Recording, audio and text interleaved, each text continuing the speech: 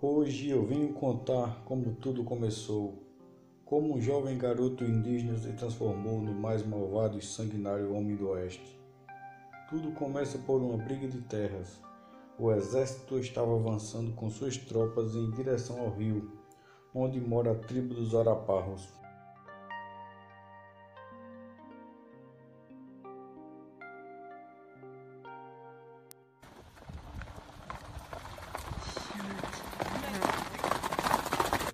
Capitão, precisamos apressar o passo para chegar antes do anoitecer à tribo dos Araparros.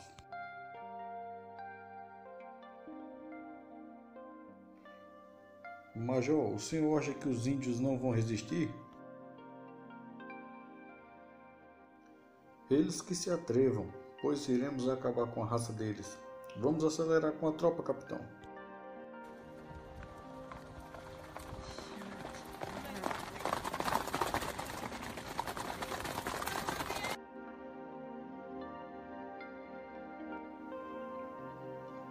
Enquanto isso, a tribo estava em festa.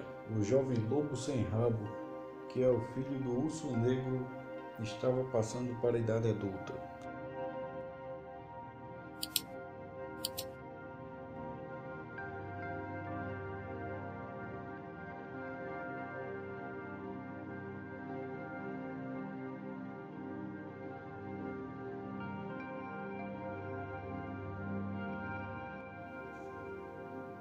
Meu filho, hoje você se torna um guerreiro Arapaus.